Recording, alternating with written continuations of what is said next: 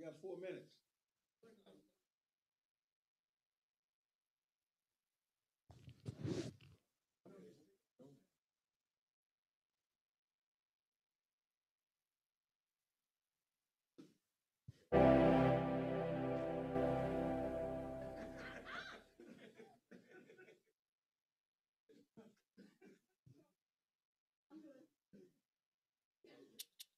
So you start with all the jump. Oh, Heel, open up.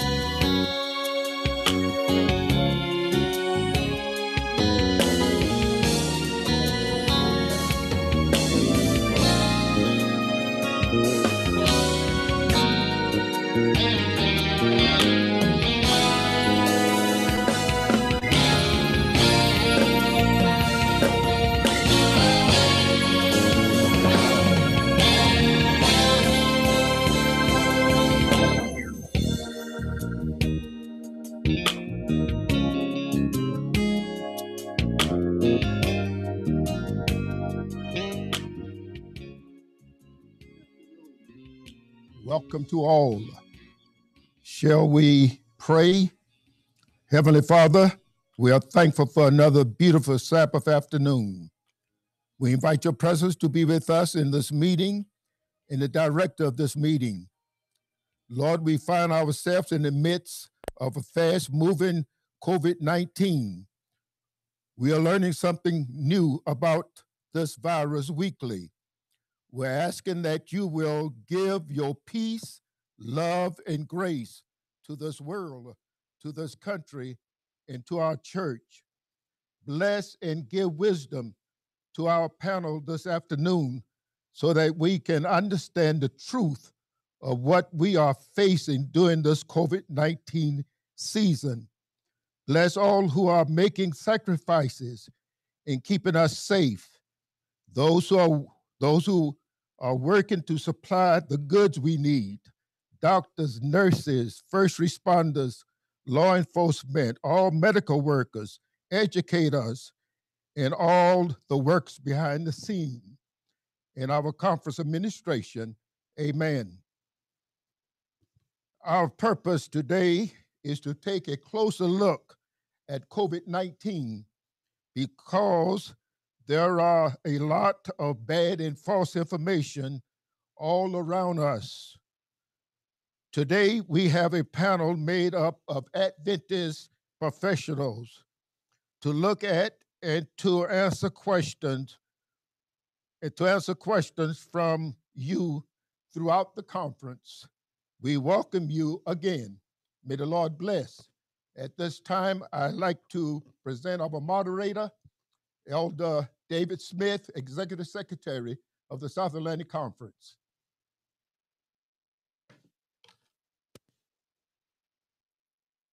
I say thank you, thank you, Elder Jones. Elder Jones is our Health Ministries Director for our conference, and we certainly do appreciate his department working within our conference to help to organize this along with others to bring it to you today. COVID 19 and uh, the church. Learn, understand, and comprehend. As he has said today, we have a distinguished panel of professionals who are going to share their knowledge and their wisdom with us to help us during this time of pandemic. Along with them, we do have the president of our conference, Elder William Winston, who is present virtually. We're certainly glad to have you, Mr. President. If you want to take a minute or two now, just give some opening statements. Uh, president, Elder William Winston. Thank you, Elder Smith, and good afternoon to each of you, and thank you to our panel.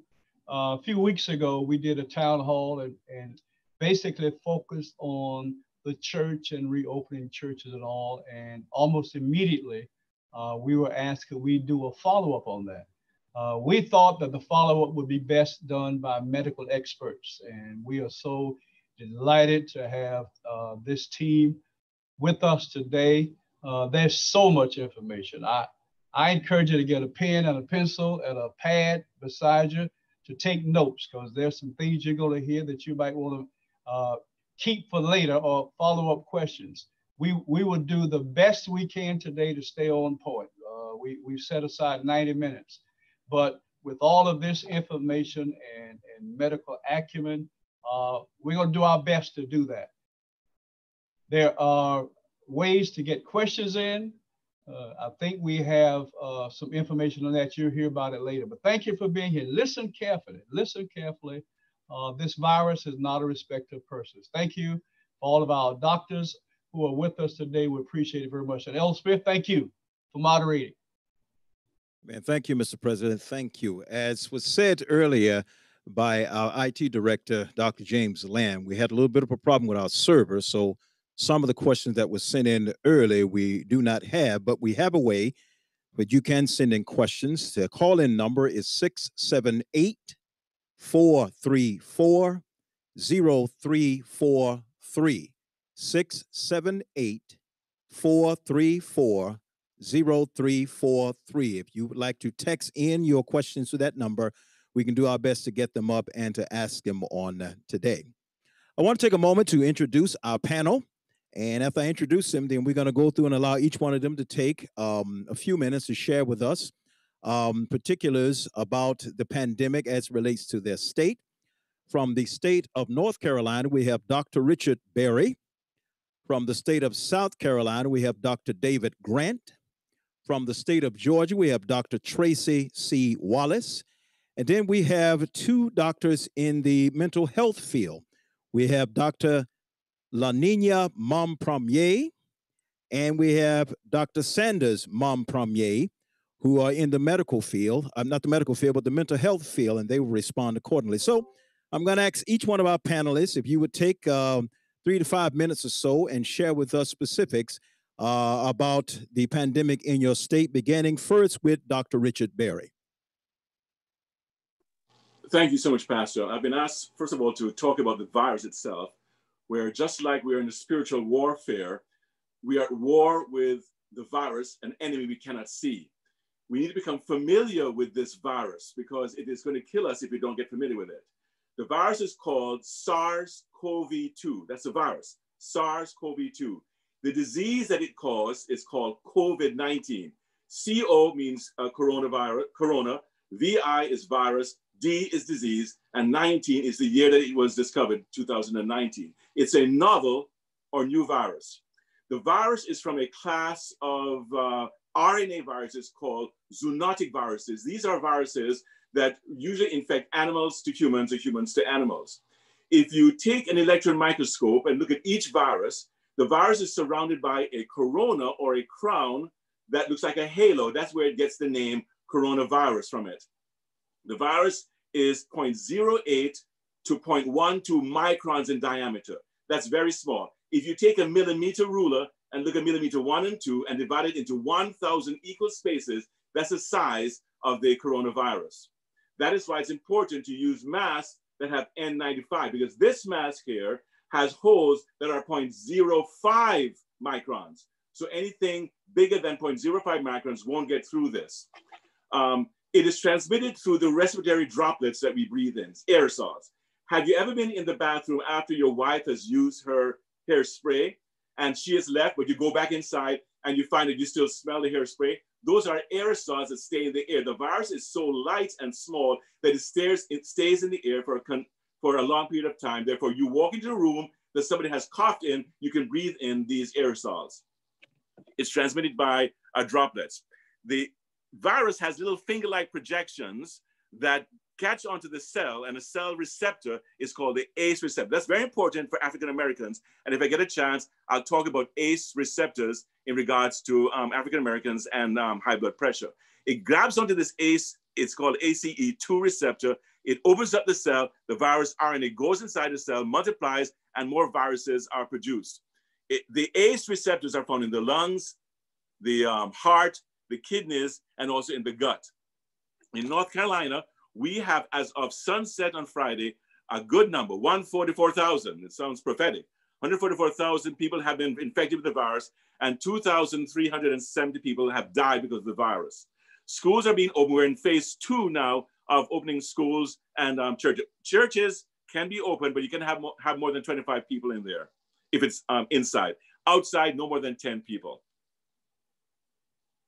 Thank you, Dr. Berry. Uh, Dr. David Grant. Yes, sir. You need to unmute yourself, sir.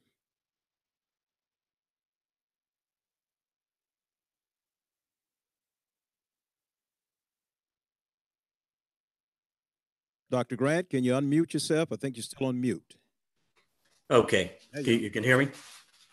Okay, I am going to uh, start with some South Carolina information, and perhaps later I'll be able to get to where how it impacted my practice in anesthesia. But I'm simply going to start with information from South Carolina.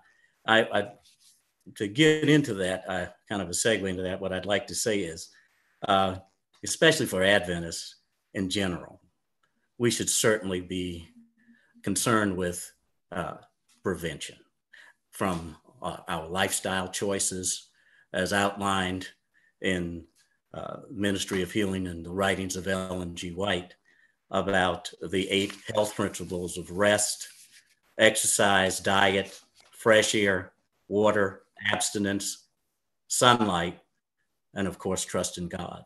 I certainly advocate wearing of masks, social distancing, and hand washing. And when uh, that's not possible, then using hand sanitizer. Uh, the only thing we really have this to, to compare this to is what happened about 100 years ago. That was the pandemic of 1918 through 1920, the Spanish flu.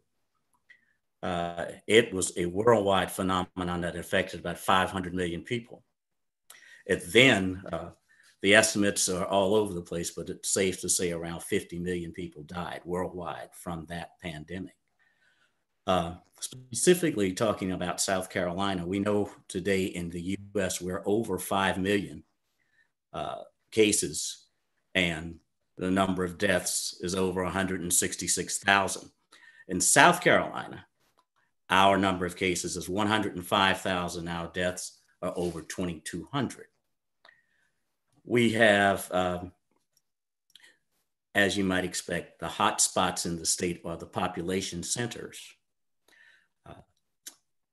starting with Greenville, the largest city, Charleston, and Columbia. These have the largest numbers of cases. In South Carolina, the director of uh, our epidemiologist is Dr. Linda Bell, who happens to be a, a, a lady of color.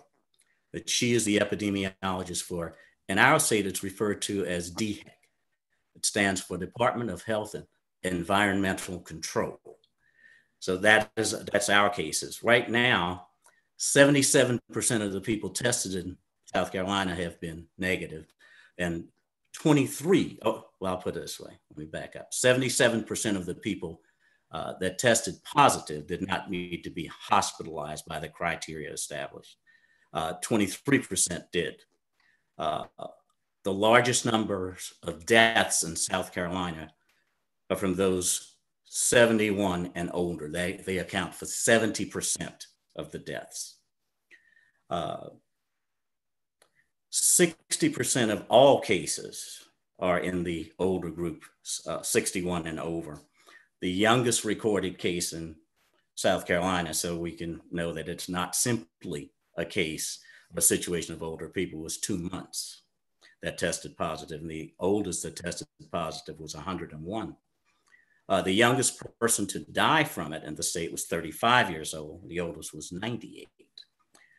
Uh, according to the CDC, as much as 80% of people that have COVID uh, are asymptomatic.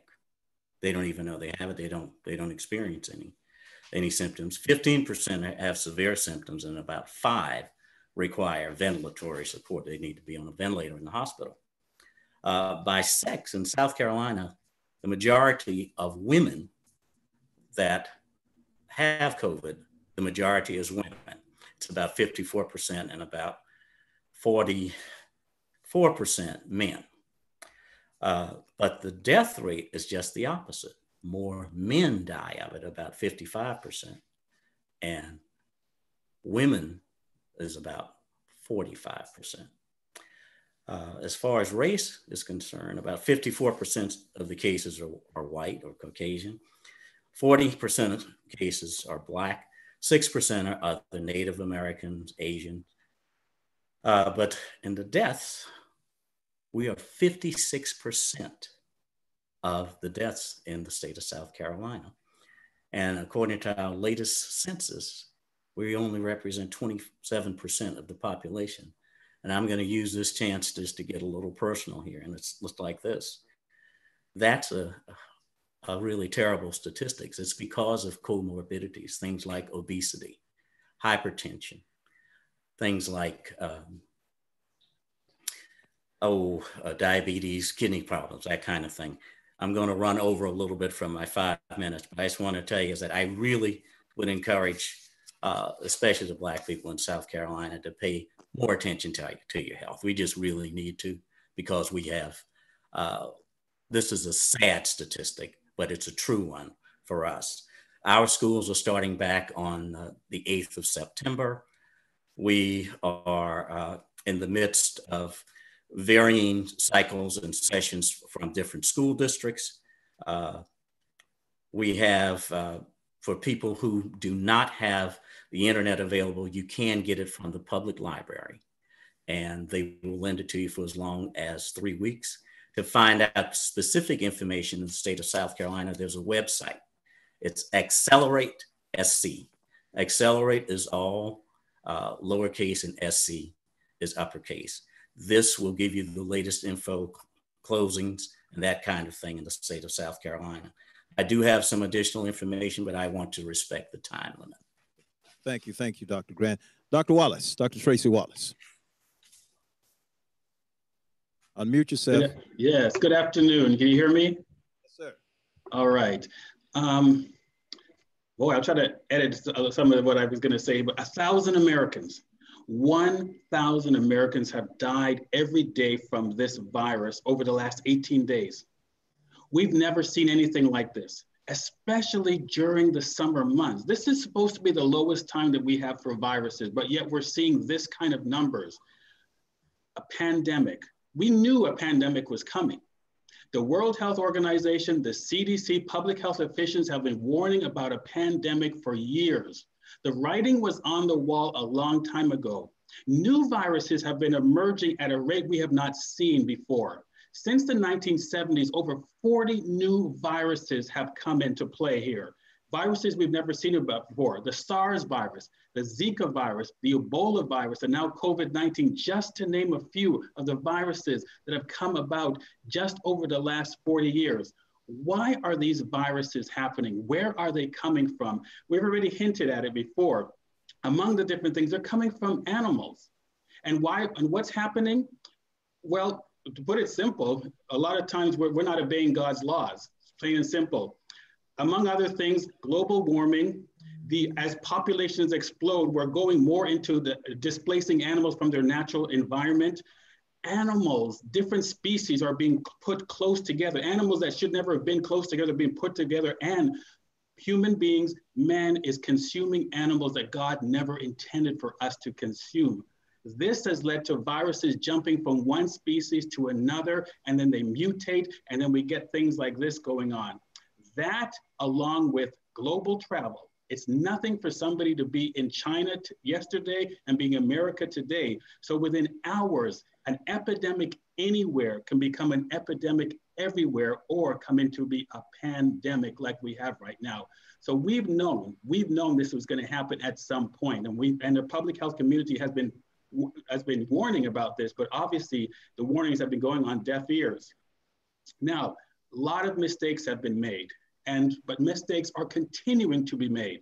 I represent the state of Georgia, and I'm sure uh, most of you have heard about some of the uh, shenanigans that have been going on in the state of Georgia, such as the uh, governor suing the mayor over the mayor trying to mandate masks.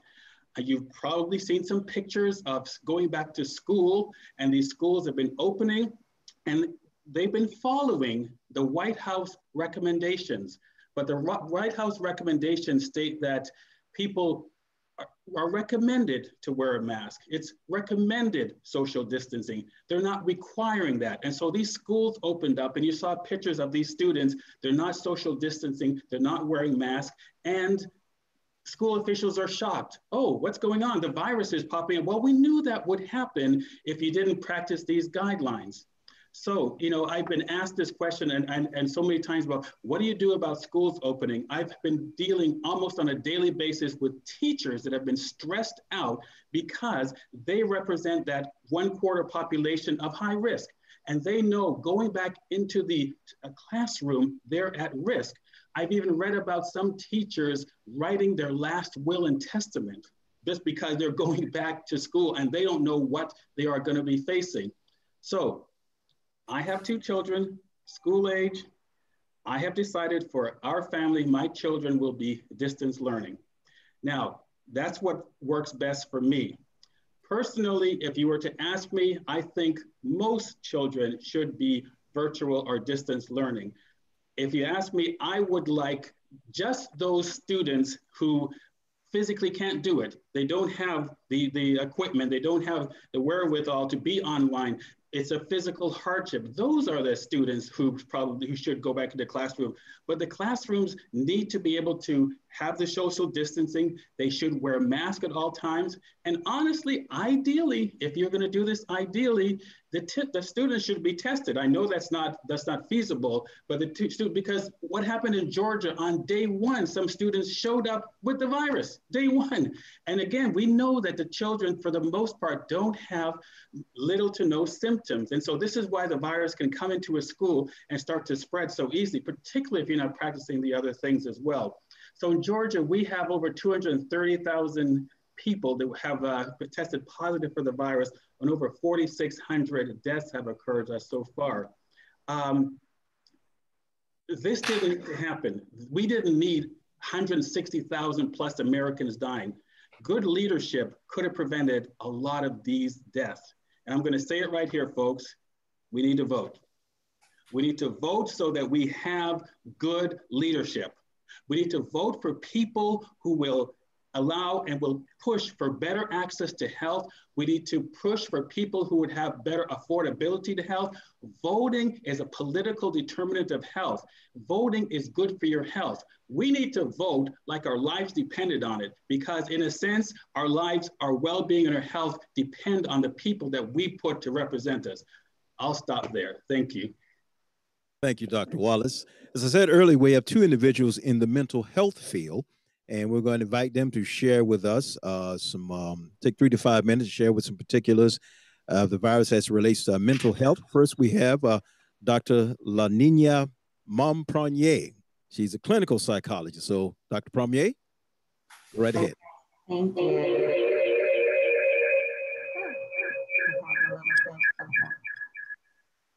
Technical difficulty. Had a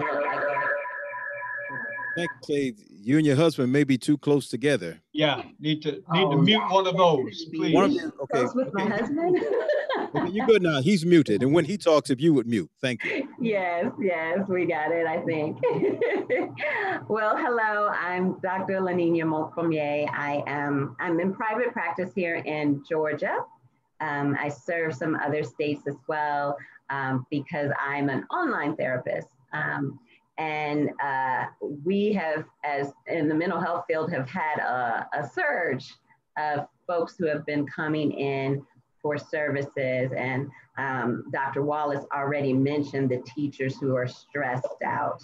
And so I, I know not everybody's familiar with uh, mental health and mental health background. Some people, um, you know, aren't too versed in it. And so I wanted to kind of give us a little bit of a kind of pinpoint of what we're um, looking at when we're talking about mental health as it relates to COVID. So if you could see my screen now, um, there we go. All right. So that's just me. Yes, we can see. Awesome. So I want to talk about your body because we know that the brain is part of the body and as all in all things with the brain, it really works with different chemicals. So when we have too much stress for too long, then our body starts to have uh, produced too much cortisol. Now we need cortisol when we want to run from the lion, um, but most of us don't see lions on a daily basis. Um, some of us have lions on our job or at our school or what have you and those definitely produce some cortisol for us. But cortisol is a steroid hormone that's made by the adrenaline glands, and it affects our mood and anxiety levels as well.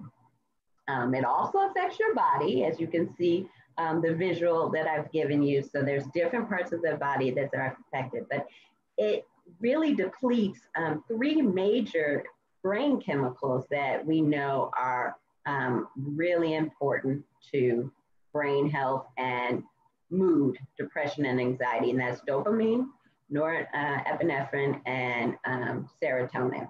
And so we want to really control our stress. Well, how do you do that when I've been quarantined for six months?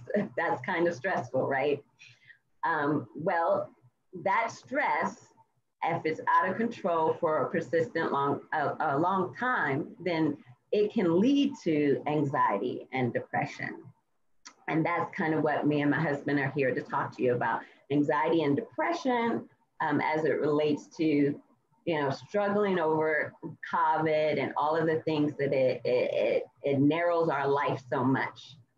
Um, and some of us had some depression and anxiety before, and now we're quarantined and so it's even more worse. So um, anxiety, it's a pers persistent uneasiness. I often get that question like, well, what is anxiety really? Um, and it's that persistent uneasiness, that smoke alarm that goes off to let you know, uh, something ain't right. There's a warning, maybe future risk or problems. Um, but when we have that cortisol pumping in our system and it's depleted those other three brain chemicals that I talked about, then we see that we start to worry more. We start to have more nervousness, more irritability, restlessness, can't sit still, can't get comfortable. Um, some people have full blown panic attacks. Um, and then others really struggle with depression. And that's that overwhelming sadness that persists for two weeks or more.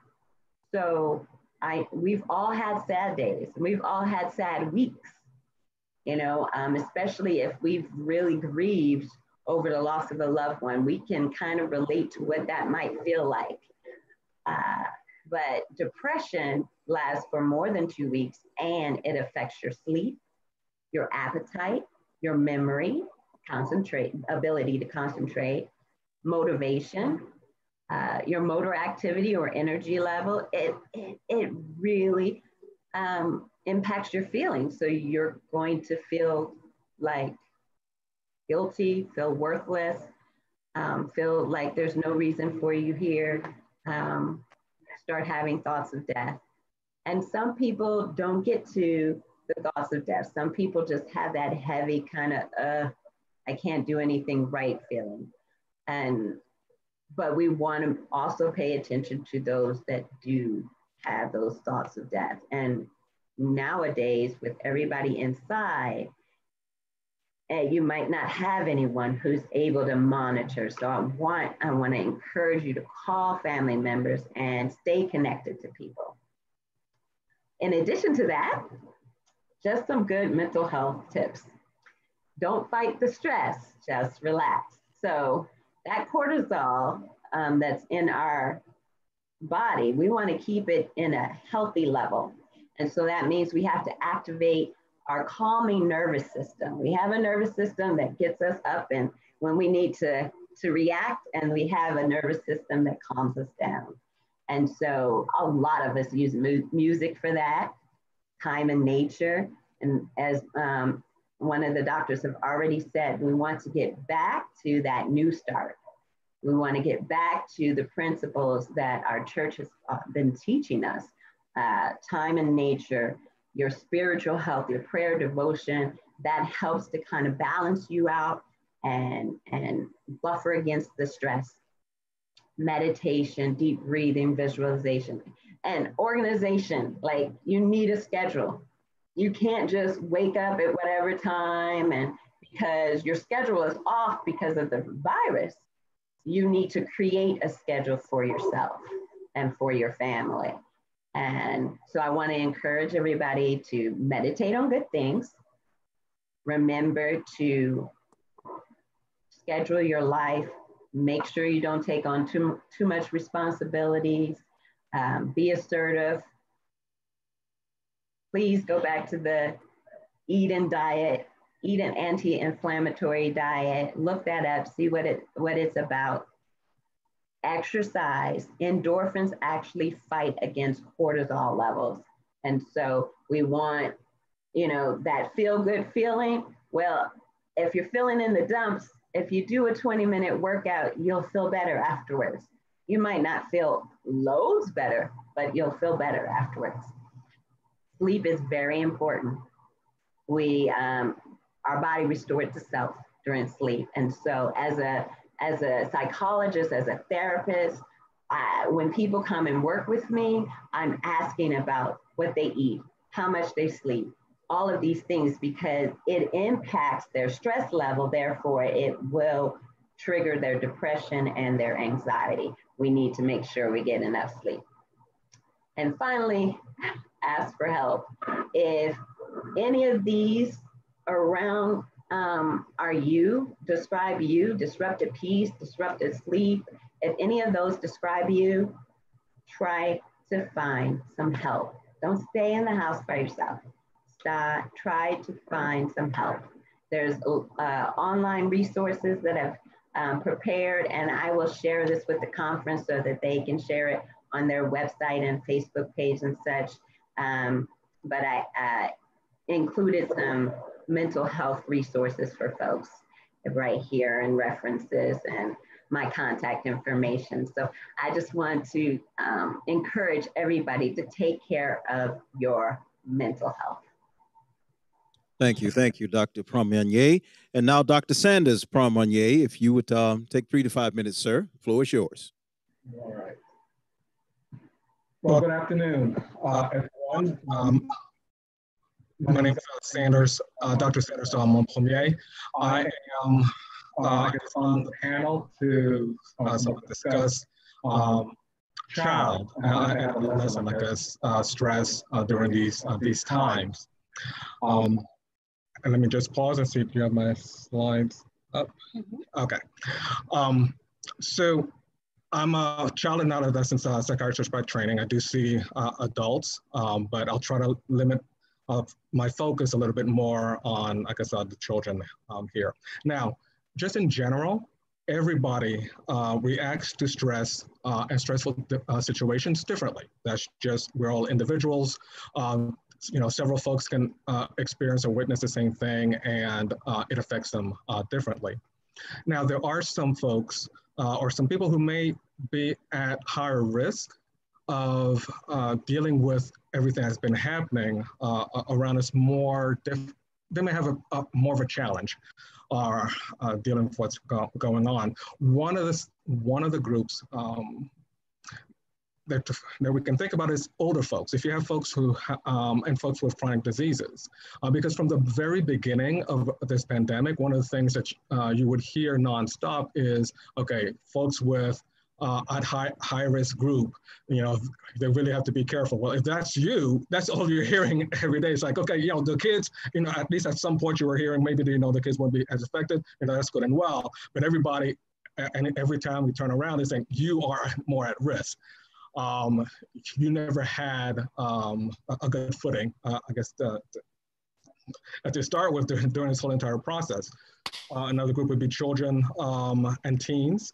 Um, and people whose jobs have put them at high risk of being exposed to the virus. And I'm, and I'm not just talking about um, our physicians or uh, nurses, our healthcare uh, uh, professionals of you know different uh, specialties, just the, the folks at the grocery store, you know, as at least as a physician, you know, we went to school, you somewhat had a sense that part of your job, there was some risk involved to it, uh, in it. You know, if you if you're a surgeon, you know, you had to you needed to glove up, you need to scrub, you, you know, all that, uh, all those things.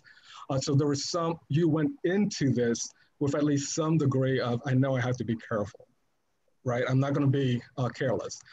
People didn't sign up to um, be a service at McDonald's um, thinking that they're going to put their life at risk.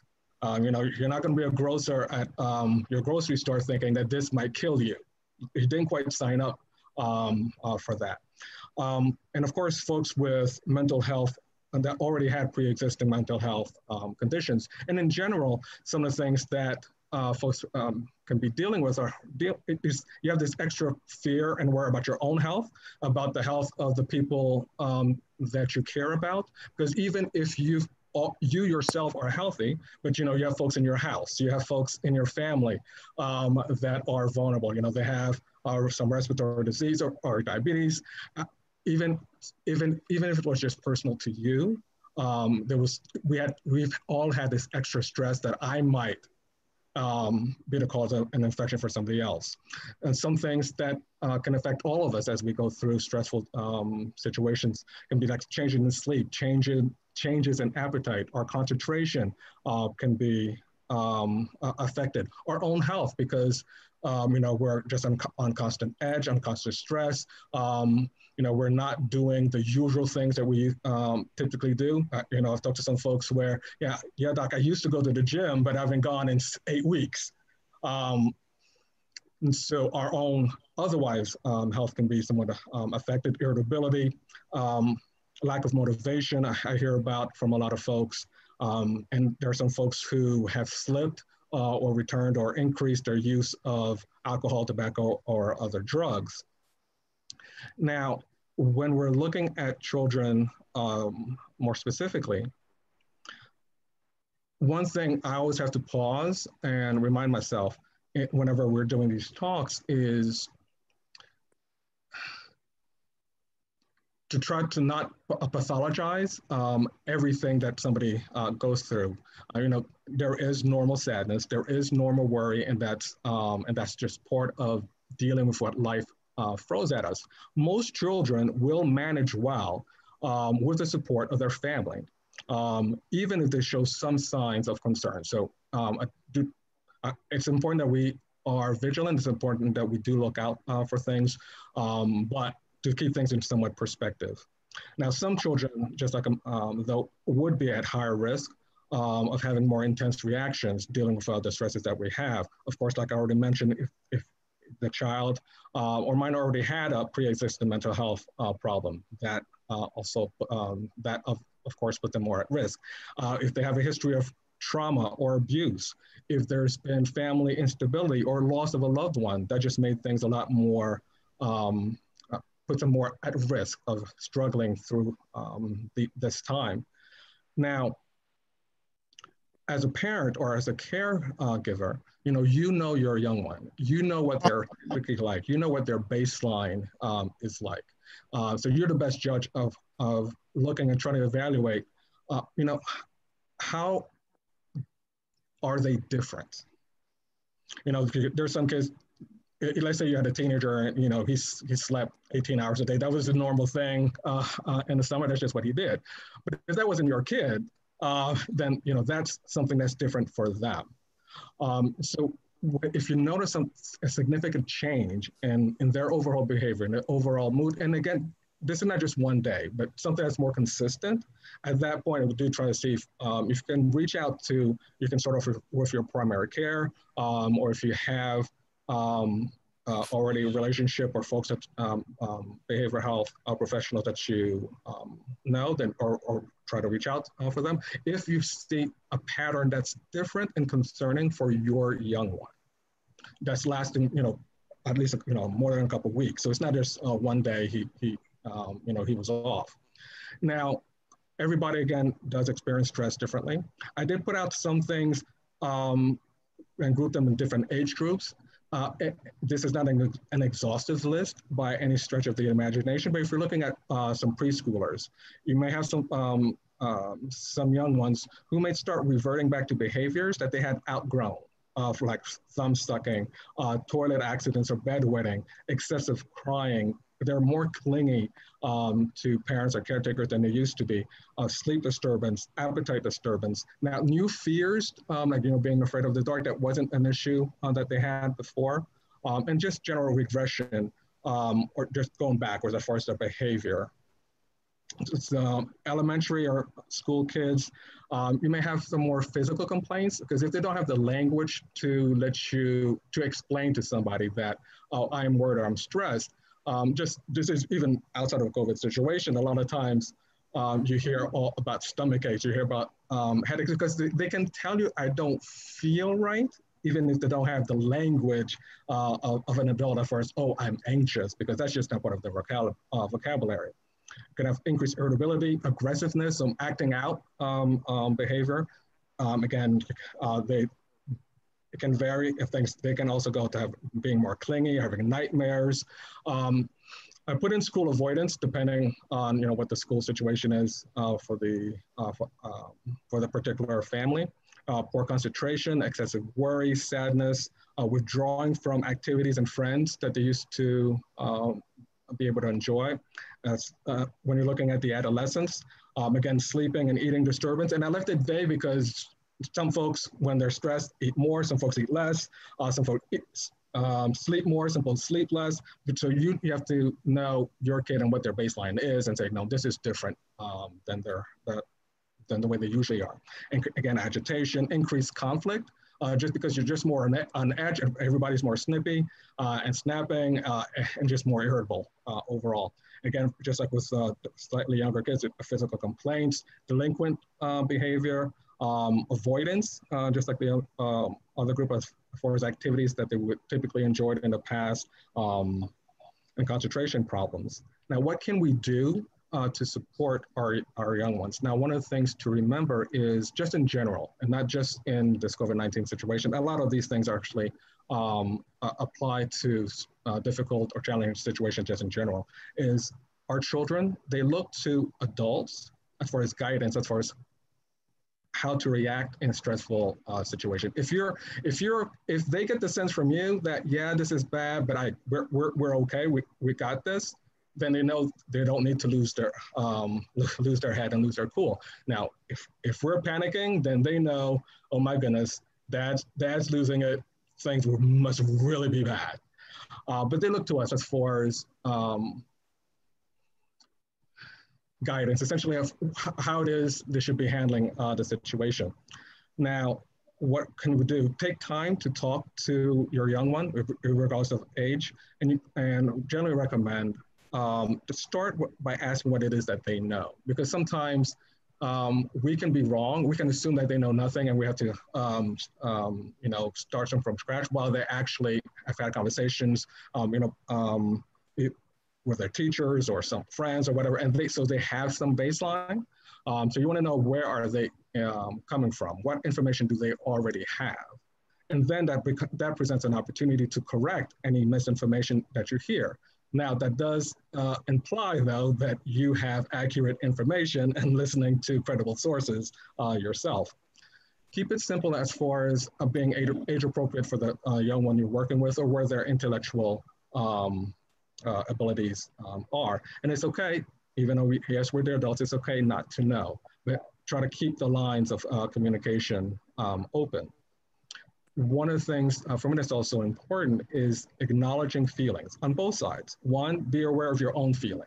If you're having one of those my hair on is on fire moments, and you know that's when the questions are coming, that might not be the best time for you to have the, uh, the discussion. You might need to say, you know what, we'll, we will talk about this, um, but let me put myself in a good mental, uh, you know, give yourself a timeout. I'll, I'll get back to it um, um, when you are better able to uh, deal with it. Uh, and acknowledge their feelings um, and avoid minimizing or dismissing because just like, yes, they do um, take their um, guidance essentially uh, from us, but the feelings that they have are real. Whether you uh, think that their fears are unfounded, it, it, doesn't change the fact that it's their feelings. And we have to start uh, from there and to offer some reassurance. Now, you know, that depending on the situations you're dealing with, that yes, there are uh, people who are uh, uh, trying to work hard to make sure that uh, we stay safe. You know, um, mommy and daddy are doing what we can uh, to keep our family safe. You know, the teachers or school administrators are uh, putting plans in place to make sure that we stay safe. There, you know, there are people working on um, vaccines and um, and they're at the hospital, making sure that they can take care of folks when they do get, uh, just let them know that there are people working on this to try to make sure that we all, uh, as a society, uh, do the best that we can. And this too shall pass at some point. We don't know when. Um, and, and, it's not, um, but it's not going to be, uh, the expectation is not going to be forever. Um, and put the, uh, the bullet point first, let them know we can all fight germs. Essentially, one of the things that, you, one of the situations you don't want to be in is where you feel you have absolutely no control. You have absolutely no agency in what happens to you. You know, it's like, all right, so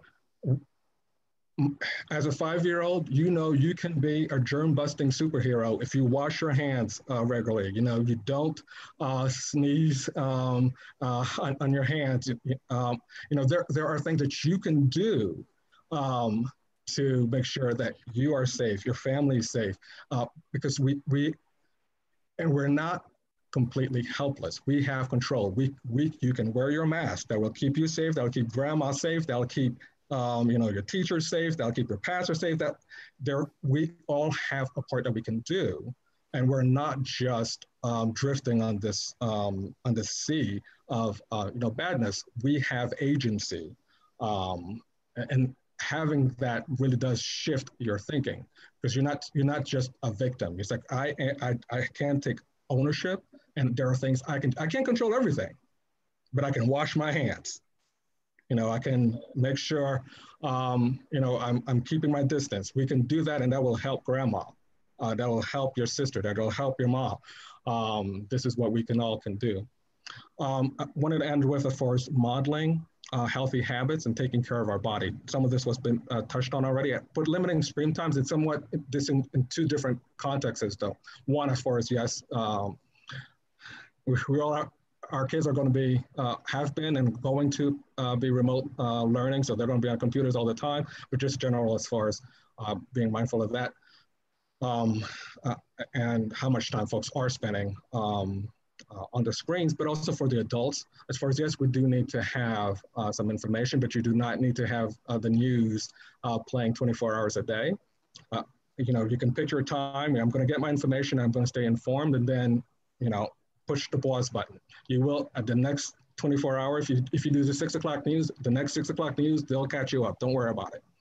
Um, maintain a routine as much as possible. And this becomes really important for, uh, for the children um, uh, overall and ourselves, like my wife had mentioned earlier, but especially for the children, keeping as much normalcy as we can.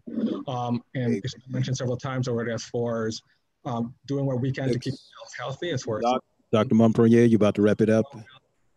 normal intervals, or regular exercise, getting out of the house, you know, if you're in a situation where you can feel safe to, you know, to, to step out, just step outside um, uh, for a bit and, you know, take that walk if you can. Get Make sure you get plenty of sleep. And excuse me, doc, excuse me, Dr. Sanders. Dr. Sanders, can you hear me? Because we do need to decompress um, um, and rejuvenate uh, overall.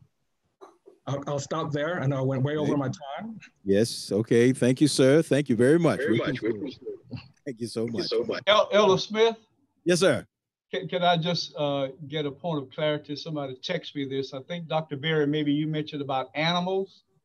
They want to know if you can get the disease from pets or from what you put on your dinner table. What kind of animals are you talking about? Well, according to the CDC, the COVID virus has been found in animals, but has not been known to be transmitted from animals to humans. Okay, all right.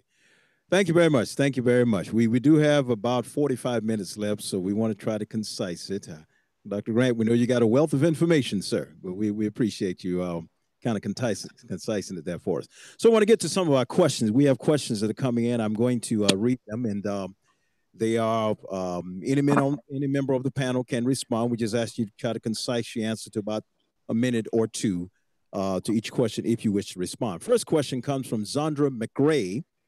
And uh, this question is Is this a man made virus? See, I hear there's a patent on this virus. And once a person has had the virus, can they get it again? Is it a man made virus? And once a person has had the virus, can they get it again? Anyone on the panel?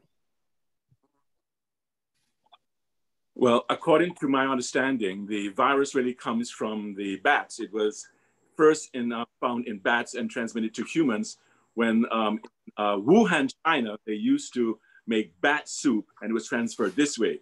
So um, it, it, there is some controversy about that, about because in Wuhan, China, there's also a, a, a place where um, the Chinese make um, chemical weapons. And so there's a big controversy here, but my understanding is it does, it was not man-made. It was um, um, come from bats to humans. And the second question, uh, that very good question, um, the jury is not out of that as yet. There has been one case published in um, Australia where a lady was positive for the COVID virus and got over it and got reinfected. Um, the question is, uh, uh, this research, that maybe it was a misdiagnosis in the first place. So we're hoping that if you get the virus or get an injection, it'll last a lifetime, not like the flu virus, where you, it, it, it um, you have to get it every year. So the jury's not. Out. I wanted to add to that, if I may. Uh, in my opening remarks, I mentioned that uh, over, since the 1970s, there have been 40 new viruses that have come about. And so COVID 19 is just the latest of a number of viruses. There have been over 40 different viruses. You remember just a few years ago, we were talking about the Zika virus, we talked about the MERS virus, we talked about SARS, we talked about Ebola, all these viruses. All that's happened with this one is that this one has spread around the world and has now become a, a pandemic. And um, it's led to a lot of concerns about uh, bioterrorism and these kinds of things, and a lot of conspiracy theories. But as I've said before, these viruses, we know they're coming from animals for the most part. And so um, it is reasonable to assume that this virus came about like the others, like the Ebola virus, which was from apes or monkeys or, or from bats, those kinds of things, and, and the consumption of these animals. And but that's how these viruses, for the most part, are, are developing. They're being transmitted. They're jumping from one species to the other. Would you like to know how to kill a virus? Go ahead. Go ahead. Yes, go right ahead. There, there are a number of ways to kill a virus. Remember, it's an RNA virus. Um, if you mix um, bleach, one, one third cup of bleach in one gallon of water, that's five tablespoons of bleach in one, um, in one gallon of water. You can use it to wipe down surfaces. Do not, Do not in any way drink it or use it. Thank you. Please, thank you. No matter what anybody says, you do not ingest this. But if you mix five tablespoons of bleach in a third or a third cup of bleach in a gallon of water, you can use it to spray down items. That's number one. The second one is this. This is so important. God provides the sunlight. Sunlight kills the virus. Our schools should not be in rooms all day. Get outside, get into the sunlight, and get some ultraviolet light. There are three types of ultraviolet light. Ultraviolet light um, A, B, and C.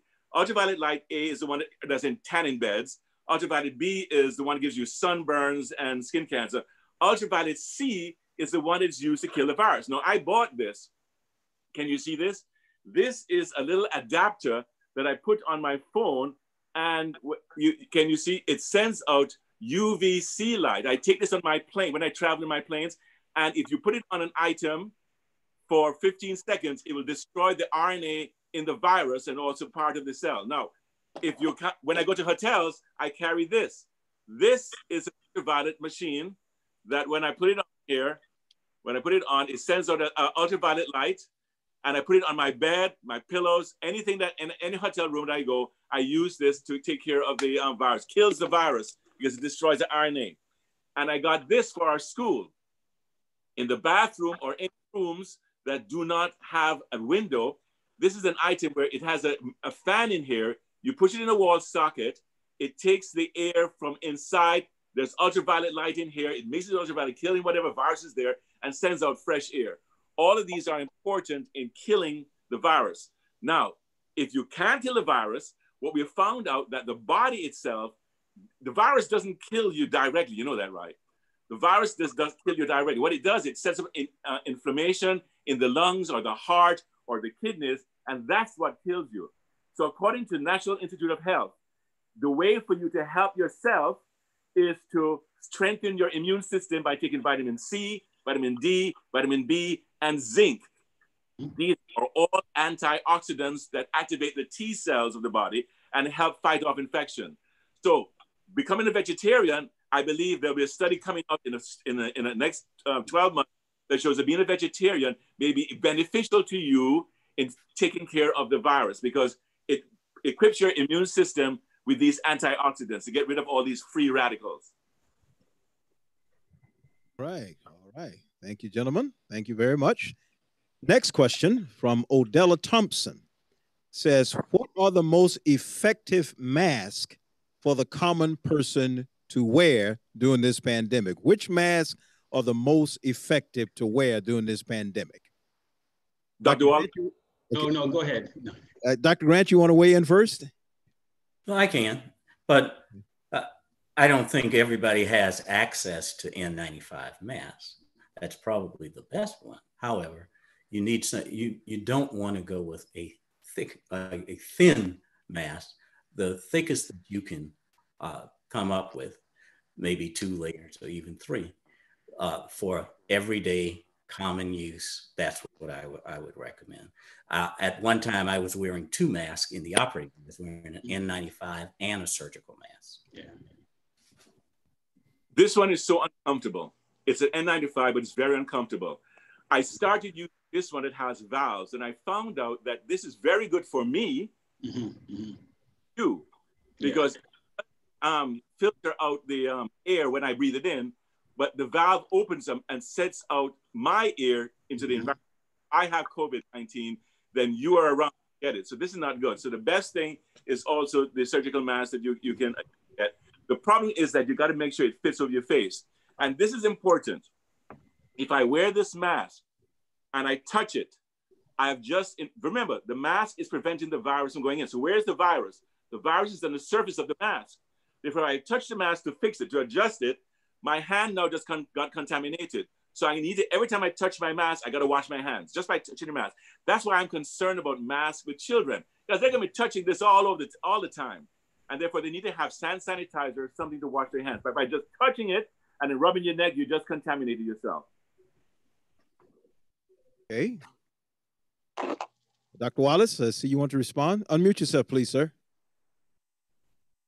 I just wanted to say that a mask is better than no mask. at all. And um, a face covering that at least covers the nose and the mouth is, is best of, of any kind there. It's better than not having anything at all, but certainly the surgical mask is, is the best mask. But uh, seeing people with this mask and it's hanging down um, past their nose or on their chin, that is not going to help at all. It has to be covering both the nose and the mouth. My, my mask says KN95. Is that a knockoff? Is that a, is that KN95. Does that work? Uh... It does. The, okay. the, um, the N means not resistant to oil. That's all it means. N is not resistant to oil. But if you have 95, remember, it is so, the, the holes in this are 0.05 if it's 95. Therefore, any, any virus or uh, any organisms that's bigger than that, 95% of it will not get through. Just 95%. So you're all right. Okay. All right. Thank you very much. Our next question, Elder Winston, I think this one you might be able to start off with, and if others want to weigh in on it.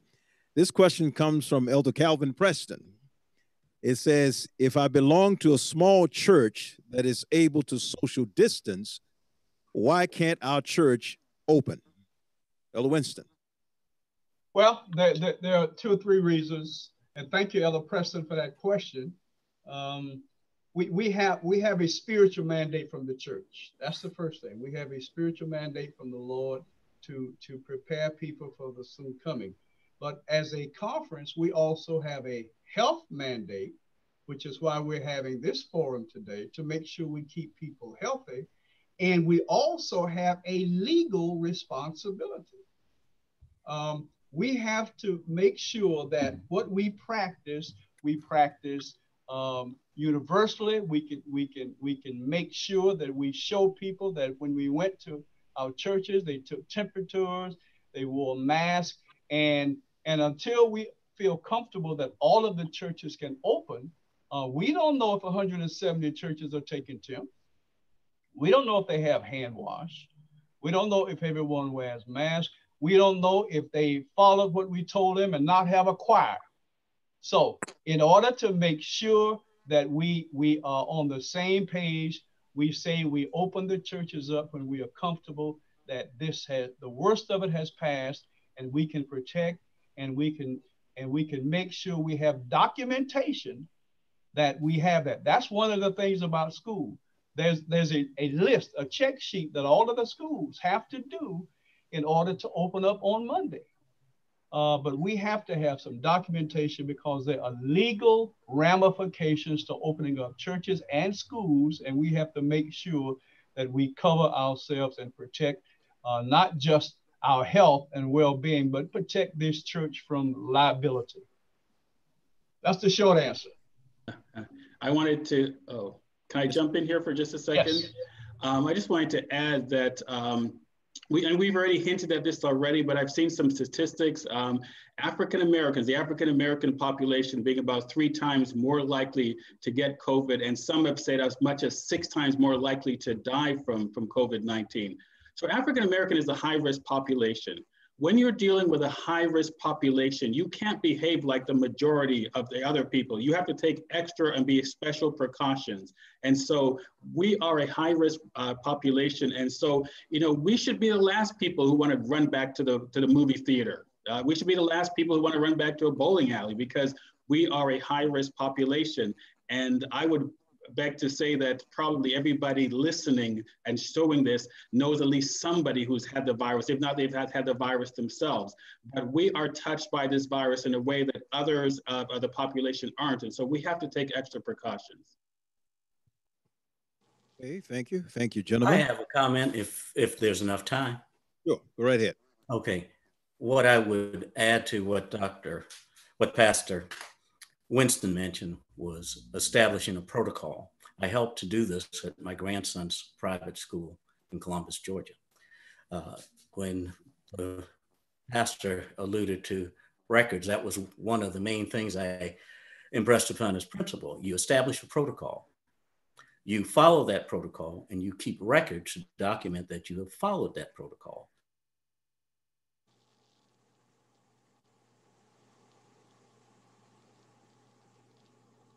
It's. I think we just lost him. He froze. Okay.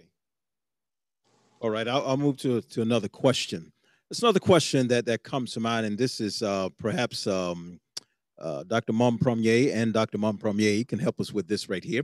If someone is sick and in quarantine, you know, they've been they've tested positive and they're sick as a result of the virus, and you may have answered this some in your slide presentation. What um, counsel could you give them to maintain good mental health as they try to recover?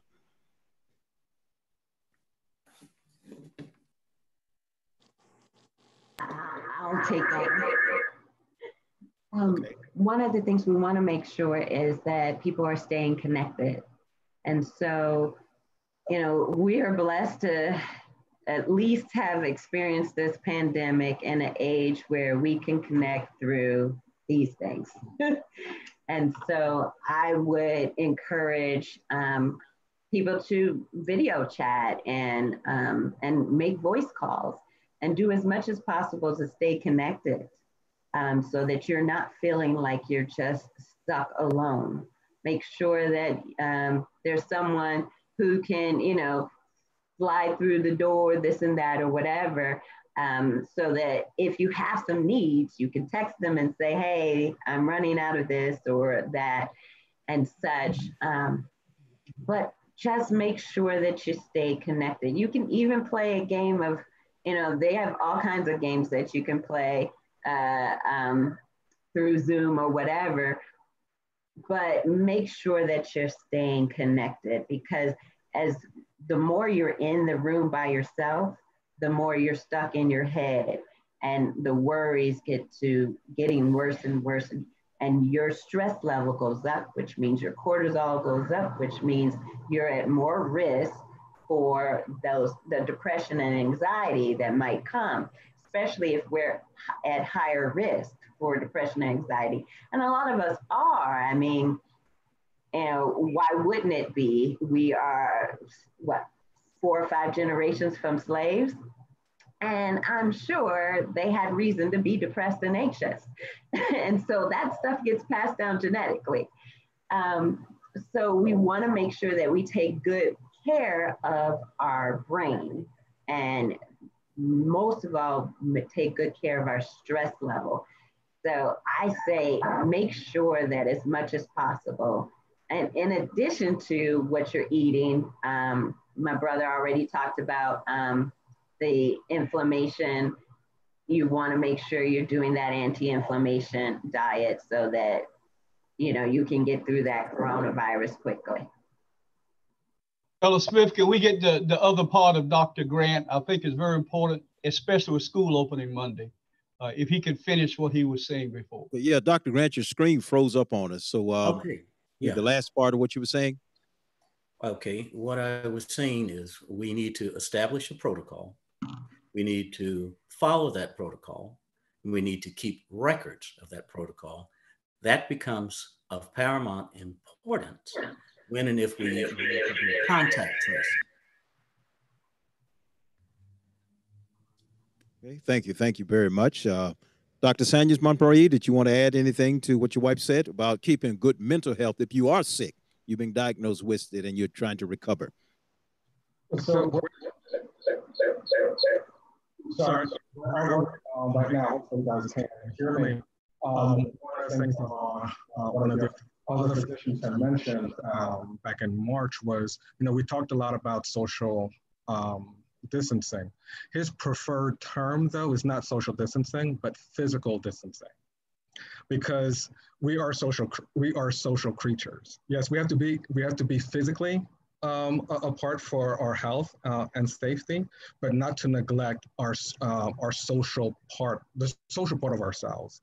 Um, so one, um, you know, if you as for everybody to try to reach out to folks that they have not heard um, uh, from. And if you yourself um, are in a situation where, okay, you, you're, you're not able to go out for um, either because you're not quarantined, for you to make sure that you do what you can to reach out. My, my wife mentioned uh, the phone, but there's a computer um, that we're doing this um, conference call um, on. And if some, somebody, if they're at a point where they do need professional help, I know for me, I've been seeing probably 98% of all, all, patient appointments were done virtually. Um, so it's still okay to um, try to reach out for professional help because you can, that we've, everybody shifted overnight. You know, I was told uh, before in my job, there's no way we'd be able to work from, uh, work from home, but uh, as soon as it started, somehow miraculously, we can all work from home now. Um, but because what you also don't want is because there's been too many I've heard of too many anecdotal, uh, anecdotal stories where people have had uh, either mental health or other physical health concerns and have avoided seeking help, have avoided getting the help that they need. So we have folks with strokes sitting at home because they didn't want to go to uh, the hospital because they might get coronavirus. Like, well, um, that's not good either. So bottom line is you can still reach out um, yourself to uh, to others if there's a need, and for us to just remember our neighbor, for us to remember our pew uh, our pew partners um, at church, and be proactive in reaching out to folks. In addition to doing everything that we can um, to um, keep ourselves as healthy, both physically and emotionally. Okay, thank you, thank you. Next question comes from Elder Brown. Will a vaccine be effective in addressing the virus since there are so many various strands? Will a vaccine be effective in addressing the virus since there are so many various strands? Well, at this point here, there, there's just one strain of SARS-CoV-2. Um, so there, there are different COVID viruses. There's the SARS, the um, MERS, and there are eight different um, coronaviruses. But the one we're looking for is the SARS-CoV-2. That is the one they're trying to get um, a, a um, vaccine for. Russians said they have it. So we are doing um, phase three trials. We need at least 19,000 individuals to um, get um, the injection, get infected, and go through the process. I don't think it's going to be ready until maybe late uh, after the winter for, for the United States. Now, Russia says they have a vaccine and they offered it to the United States. The United States they didn't want it because I think they went too quickly. Because um, it, it, takes sometimes four years really to get a, a, vaccine out, and we've been doing this in the next in the last six to eight months. So um, there's only one virus, the SARS-CoV-2 virus, that we're trying to get a vaccine for. That's my understanding right now. Okay. All right. The next one is. Can I can I piggyback on that? Yes, sir. Yes, sir. What, what, what about the what's being said about that people won't go to get tested because they're putting chips in us, and and they're doing all of those. What, what kind of what do you say about that for people who just are afraid that there's some kind of espionage? Well, remember, Pat, we must believe everything that we see on Facebook. Everything. It is journal that we must listen to and listen to everything they say there. Um, I have had no evidence um, in the literature that I've reviewed of, of, of that.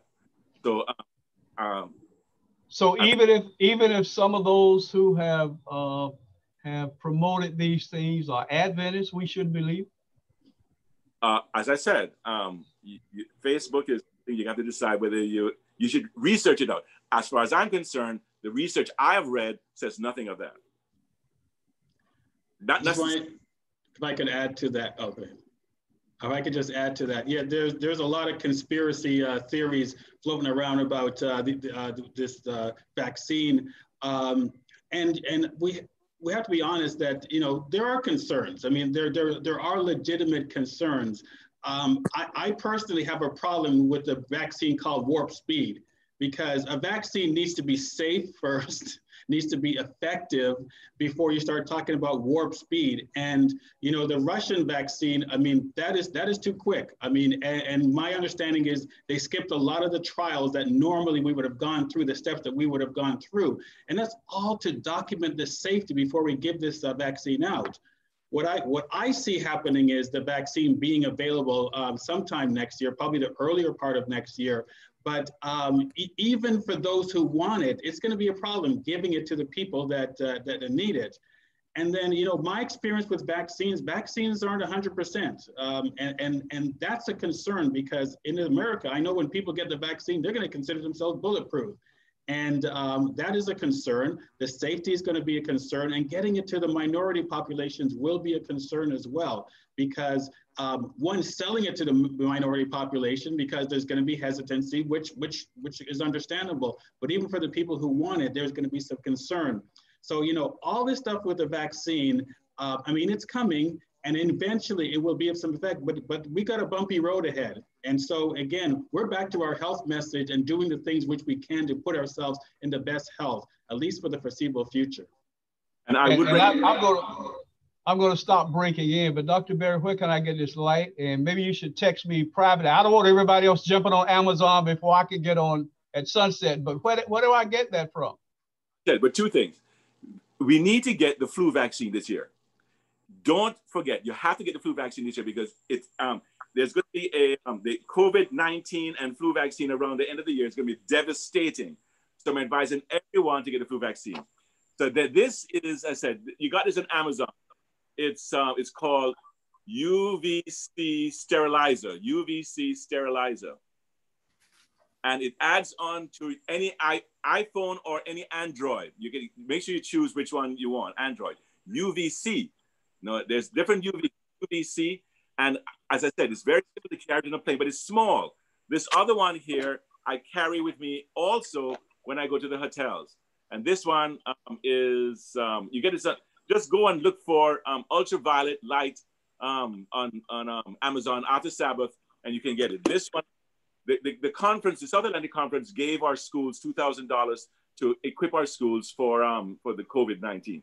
And we used some of that funds to buy this for the bathrooms, the two male and female bathrooms and the classrooms, where it has a fan in here that, that circulates air in, it, uh, sterilizes it, and, and sends it out. It's, it's the least we can do, but get out in the sunlight. That's the best thing we can do. All right. Uh, okay. All right. Uh, the, once again, the, the phone number, if you have a question, you want to text it in. We have about 20 minutes or so left uh, is 678 434 0343. I believe it's on the screen there with me. 678 434 0343.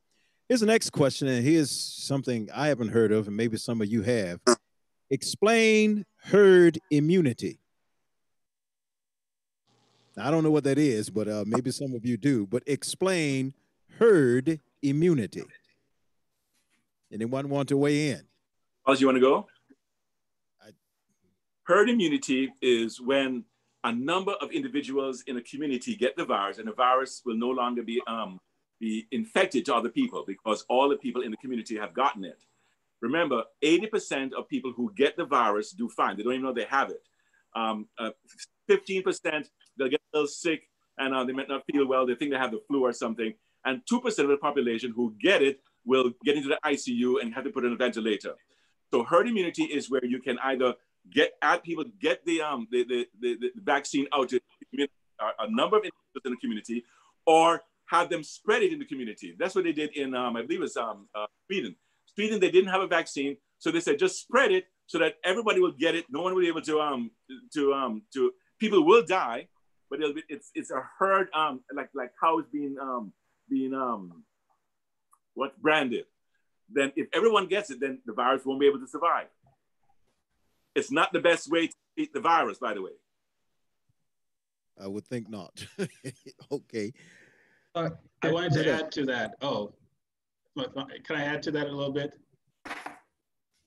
Yes. Okay. Um, yeah, yeah, because you know, e even now in this country, there's a lot of people that are are kind of pushing for for that, and um, particularly business people and people that just say, hey, let's just get on with our lives, that kind of thing, and uh, let's just let the virus run, and then let's see whatever it does, it does, and um, you know that's just not acceptable because we're still looking at potentially one percent of the population dying from this virus. I mean, when all is said and done, so over, over a population of 300 some million, are, are you accepting the fact that 3 million people will just die and we'll just sort of move on? And it's amazing as it sounds, but I've, I've encounter some people who say, yeah, let's just just go ahead and do it because business needs to go on. But that's just simply just not acceptable. That is not acceptable. And that's why we're taking these precautions. That's why we're doing these things because we're trying to save lives. And the mask and these kind of things, it can reduce and it can actually save lives. But herd immunity is an approach. I mean, you know, a few hundred years ago when we didn't have anything else, uh, that, that might have been acceptable, but no, not in the United States. For 3 million people to accept the lives of 3 million people. And then, like I said, it's disproportionate. There are populations that will be affected far more than other populations. The minority populations would be hit far more than other populations if we practice this type of thing. Dr. Sanders Mompremier, I think you had a comment. Yeah, so with the concept of herd immunity also works uh, from the other side of the equation. And so let's say you have, um, you know, we have right now chickenpox vaccines, we have, um, you know, flu vaccines, we have all these other vaccines. Um, and we've had diseases that we've had in this country under control because most people got the vac vaccine and were immune. But you guys may have heard recently that there's been outbreaks of like measles and other diseases these really weren't um, an issue because we've had people who have been against vaccines for a while and chosen to not vaccinate either themselves for some whatever reason. Um, and but if let's say if you, if you have a classroom and 99% um, of the kids are um, vaccinated against uh, measles, right? Um, then now the chances that you're going to have a spread of measles in that classroom is very low because there's only 1% of the kids who even can get it right? And so what, what, what we've had start happening as parents stopped vaccinating um, their kids, um, now you have bigger, you have a smaller, a larger percentage of folks who aren't are not vaccinated. So now these diseases that we've had under control, um, if somebody comes in from somewhere and they have they carry their, their measles or, or whatever with them, now because a lower percentage of people are immune, now you can have another outbreak. So that so that's the other equation or other side of the equation when you're dealing with herd immunity. Um, it's, it's, we're, we're going to have the discussion when there's a vaccine available because how many people do you, what percentage of people do you need vaccinated to actually have this be um, to get this under control? It's not just having a vaccine, but okay, do you have an effective vaccine? How effective is it? And how, what percentage of the population is actually vaccinated? Okay, all right. Thank you. Thank you very much. All right, this next question, uh, and Dr. Grant, I think I'll start with you. I think you touched on this during your opening remarks. Why are African Americans, why are African Americans dying at a faster rate? And what is the main cause of hospitalization? I think you touched on that during your opening statements. Why are African Americans dying at a faster rate from this this this disease? Because of comorbidities. There are people uh, within the African American population that have hypertension, diabetes, uh, morbid obesity, mild obesity, kidney disease. These things become exacerbated with the inflammation that's caused by the coronavirus. These things are, I look at it from a very personal level. We will uh, if we get a stain on our rug the next day, we got the carpet man coming in to clean it. If uh, there's something wrong with our car, it's going to the shop. But so often we neglect ourselves. Uh, we do need to get off the couch. We do need to exercise. We do need to practice the eight health principles. We do need to watch our diet. We do need to get out in the sunlight. We need to exercise, drink an appropriate amount of water. These kinds of things I'm are simple, but they are effective. However, with the comorbidities, the other diseases that we have, it predisposes us to being more susceptible. When we get it, it's worse for us because we have something else in addition to the coronavirus. Okay. I think there's other things um, that go along with that. So if you're a population that um, had lower income um, and less likely to have easy access to healthcare, or if you did have healthcare, you were in a position, in a job or a position where, you know, taking that day off, um, you know, uh, came at a, at a great cost. Um, so you have a lot of pop, a population that was more at risk of, and just the basic things of taking care of yourself have become more difficult. Uh, and then couple that with if you're the population that was condemned to be essential workers, low paid people who could not do your work, your job remotely. So you had to be out there in the front lines, um, exposing yourself. So that just created a bad storm. Um, one, you had, you had the comorbidities to, to begin with, and you didn't have the option to remote work. So if you if you're going to take care of your family, you had to be out there. Or you know, or once things started opening up, opening back up, you know, your boss called you, you had to be back out there. So that just created the perfect storm. All right. Thank you. Thank you very much. Thank you very much. Uh, I see one question down here, and I think, Mr. President, you touched on it before, but nevertheless, I'll read it. This is from Tanya Moody. If bars and restaurants are open, why can't churches open? It was there, so I read it. good, good answer. Because people in bars and restaurants do not follow science. Uh, they they are not on for the most part uh, God fearing people, and uh, I see some of those people are shaking their fist in God's face, and just daring just daring God. Um, we we have a responsibility to protect uh, those who, whom God has put in our care. Uh, I don't want to hear any person in the Seventh day Adventist Church uh, because we opened the church early and they decide to go back to church who, who gets COVID and certainly not someone to lose their life. Um, God has blessed us. You all, you, the, the saints of God have been incredibly faithful with their giving. Um, in fact, we had one of our regional conferences that had a million dollar tithe gain last month. It is an, it is incredible how how faithful you have been with your giving. Thank you, thank you. I appreciate that. Um, it helps our churches. It helps uh, those who work for the church. Uh, it helps us to continue to do the, the, the message of God what we're doing now, I had to learn. I had to get used to this this uh, virtual, but every day, except for uh, Sabbath uh, and and a half a day Friday, I'm on five or six Zoom conferences every day. That's that's my life, um, and and we're going to be doing it for the foreseeable future. We have made a decision uh, administratively in the conference that we're not going to open churches this month and probably not next month. It may be early October before we start opening churches. And uh, I think the other thing is that the saints of God will determine themselves. As, as Clark Howard would say, uh, vote with your feet and vote with your wallet. I think most people are going to decide when they're going back to church on their own. They're not waiting for me to tell them. They're going to decide when they want to go back to church.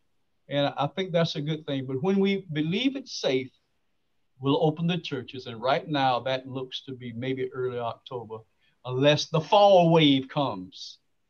Unless when cold weather comes, this thing flares up again. So, so we won't make any decisions. We'll, we'll tell you not this month and probably not September. Um, I, I do have a question since you all gave me the mic. what, what, what if I find out that I am exposed? I've been around someone who has the virus, who's tested positive. What, what, what should I do?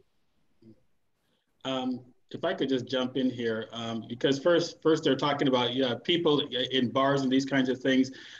We're we're seeing we are seeing the consequences of, of, of improper behavior. I mean, we're, we're seeing them. I mean, uh, um, when I saw those schools open in Georgia and there was no social distancing and there's no mask, there were going to be consequences. And you can look at that and say, wow, they're doing that? That's strange. But let, make no mistake, there are consequences when you're not following these guidelines. You may not live or may hear about it, but there are consequences. I've seen some of these people that were in these bars that they came and they and they tested positive for COVID. So make no mistake, if you're not practicing these guidelines, you're going to see the uh, the, consequences of that. And then as for you know being being around somebody who, who's who's who's positive for COVID, understand again. I mean, if you're wearing a mask and they're wearing a mask, um, you you you are you're reducing that risk. Now, the longer you're around them, And even with a mask, you're, you're you know, the, the risk kind of goes up. But if you physically, and, and I should say this, and I and I, know it sounds depressing, but this virus is so prevalent that I predict that before this is over, I think most of us are going to be exposed to it at some point. We're going to, it's, it's just that prevalent. And that's why the wearing of the mask can make such a difference because if you're wearing the mask, I'm wearing the mask, and we keep that mask on all the time with our interactions, we're reducing that risk of transmission. But if you've been if you've been around somebody, particularly that person, because I see this all the time, you're talking to them, and what are you saying? And mm, put off that mask. I said, then they're talking like this in your face. Then guess what? Uh, that that that definitely is is a risk. And if you've been exposed like that, you should, you really should be tested because you don't know if if you because as we know, you could have the virus and not have any symptoms. It takes eight 14 days for um, the virus to manifest itself. Yes. So if somebody who has fevers, coughs, sore throat, headache, shortness of breath, and a loss of smell, and they speak to you, and uh, and uh, and it comes out, and you get in, you're around them, and they're positive. That's what I like to know. Did your barber have a mask on when he took care of you, Pastor? That's the way. Yes, yes. Oh yeah, we're both. Yes. Now let me let me ask you. You muted? Are you muted or am I muted? Can't hear you, Dr. Berry.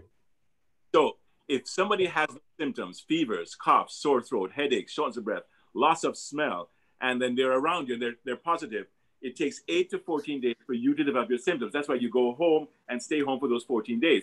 If you develop any of those symptoms, and you go to the emergency room and be tested. Some hospitals do not test them if they've been exposed. They test them if they have the symptoms of, um, of the. Um, one of my patients last week, the only symptom she had was a headache. She had a headache for three days. That's all she had. She had no fevers, nothing else. I sent her to the emergency room because I had a great suspicion that it was um, COVID. She tested positive, but she went home and she's there for the 14 days. People bring her food, do her shopping. She cannot leave the home. And I, I know time uh, time is running out. What what about those ACE receptors? You tried to get us on that. Can can you briefly do it? ACE receptor, it's the ACE2 receptor. The virus grabs onto the ACE2 receptor and opens up the cell, and the RNA goes into the cell and causes that. Now, many people are on ACE inhibitors. ACE inhibitors are blood pressure um, um, medications that, in a sense, suppress this. And there was a study initially that said that maybe the people who have who are ACE inhibitors are at an advantage to die because of the COVID virus. Well, the Annals of Internal Medicine came up with a study in May of 2020 that shows that that's not the case. So do not stop taking your ACE inhibitors for your high blood pressure. Another study came out by in, in uh, Atlanta by I think um, no not Atlanta it was um, Huntsville in Alabama University of Alabama that showed that people who are on the blood sugar medication metformin seems to do better with the um, less deaths from people who had the COVID virus. Metformin is a medication you take for um, diabetes, and people who are on that. According to this study here, the 70% of the people who are on this medication did not suffer the, um, the, the death and the intubation uh, than people who were not on it. So that's a new study that came out just recently about metformin. So do not stop any medication. Do not start anything unless you speak to your doctor first, because there are new things coming out. What I say today may not be the same in one month. So speak to your doctor who to be up to date. When the COVID virus started, people went to the toilet paper part of the of the of, of Walmart. I don't know why. Yeah. I fruit section. I got there you go strawberries, I got yes. um, grapes, I got all these fruit because that's the high antioxidants that I need to to to take care mm-hmm. of the mm-hmm. free That's where I went, and every mm-hmm. morning I take a handful of blueberries or blackberries to help my immune there system. Yes, I agree. I mean, people should have been running for kale and blueberries, not running for toilet paper. It made no sense to me. You know, the other thing I, I want to say is come, all these patients are coming in wanting to know their blood type all of a sudden. And um, I've been, I, I, didn't recognize that until later that there's some evidence out there or, or, research suggesting that your blood type can be protective or, or destructive. But that research, is, as, as far as I've read, is not conclusive. It, there's, there's nothing conclusive about that. But everybody wants to know their blood type because somehow they think they might be protected or they may be at risk. But the evidence for that is just not conclusive at this point. Thank you. Thank you very much. Um, we're just about out of time, but I think it's important. I just received a, a comment uh, that will clear some things, maybe a disclaimer. Mr. President, the question about the bars opening, Tanya Moody did not send in that question. Maybe it was another Tanya Moody somewhere else, or someone else sent it in in her name. So I just received a note that you know Tanya Moody did not send in the question about the bars opening. So I thought I'd let you know that, Mr. President. I, I, I needed to hear that because I've been disturbed ever since I heard that question. Well, she sent a note up saying she did not send in that question. Someone may have sent it in in her name, but she did not send in that question, Mr. President. Our time is pretty much about gone, and this we could go on and on with this because this is very good, very helpful.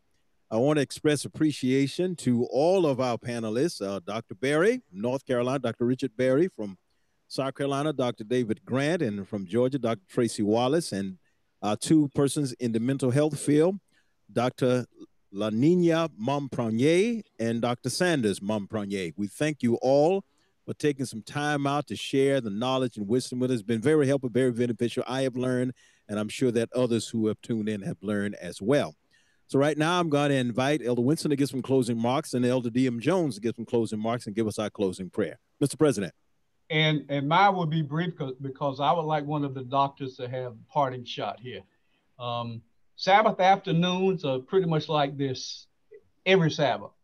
Uh, we can do this again if you feel a need for it. You can just kind of send in a word to us uh, from a conference or or give us a suggestion as to something you would like for us to cover.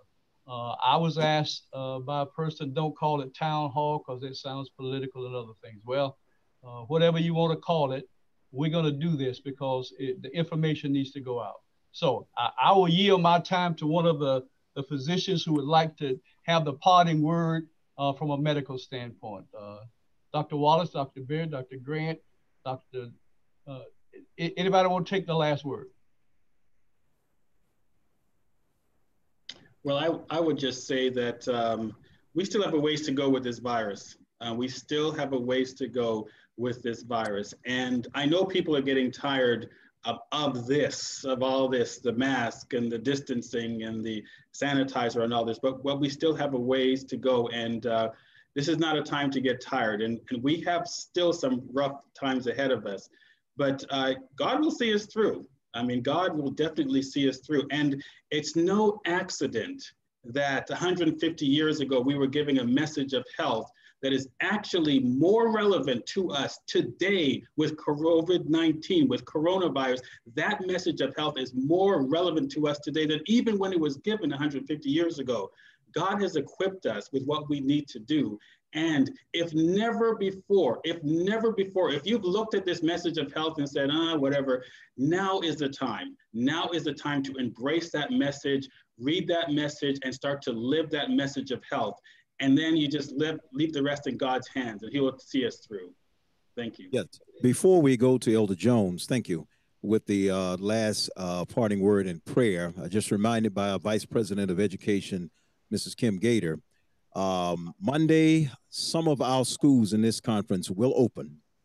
And what we're doing, some of our smaller schools who are able to social distance and practice all of the other uh, safety features will open on Monday. Our larger schools, because there's less ability to social distance and practice the other safety features, will continue distance learning.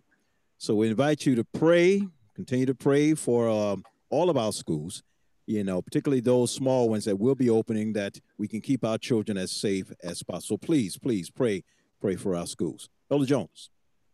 Yes, I want to express my appreciation to the doctors for your wisdom in sharing it with us. I want to thank our president for permitting this to happen today. And maybe again, we can have something like this. We've been enlightened. Thank you so much. May the Lord bless. Shall we pray? Father in heaven, be with us as we go through this crisis. In Jesus' name, amen. Thank you, everyone. Thank you. God bless you.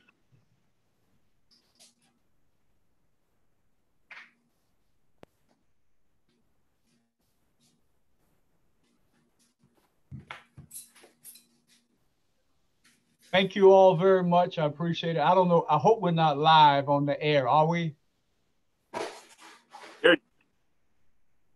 thank you all very much. This this was awesome, and I'm sure we'll do it again. Uh, invaluable, invaluable. Thank you very much.